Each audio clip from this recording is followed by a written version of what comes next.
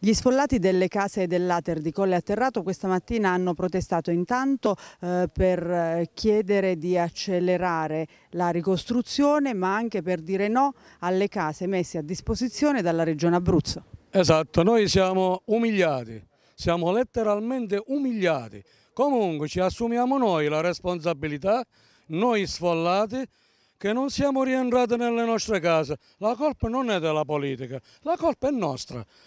Ma Voi chiedete dignità, avete detto. Noi, noi, chiediamo dignità e rispetto, chiediamo. Non che dopo tre anni ci vengono a raccontare che noi non siamo bambini, al contrario, che hanno comprato le case eh, momentanee, tutto quello che dicono. No? Perché voi queste case messe a disposizione della Regione non le volete e non ci volete andare?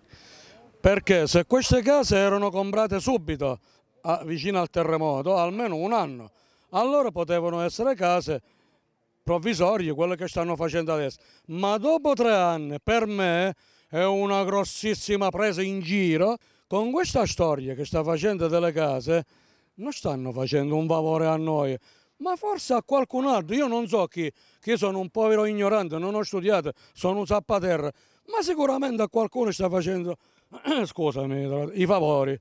Qui la ricostruzione non è partita per niente? No, non è partita niente, vedi le gru?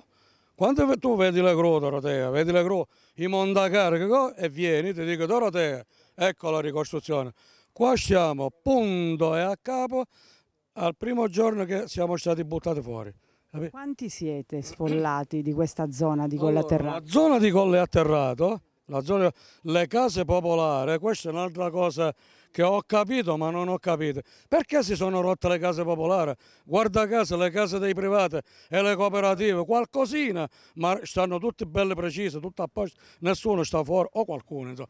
Perché si sono rotte solo ed esclusivamente le case popolari?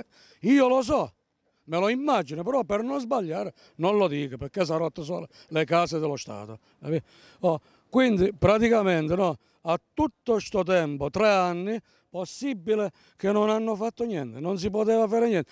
Quindi la politica tutta è stata completamente assente dallo Stato centrale alla regione, la più colpevole ritengo io, alla politica locale. È inutile che sterza a destra e sterza a sinistra.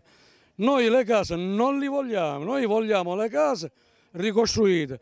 Quanti soldi stanno spendendo? Contributo di autonoma sistemazione.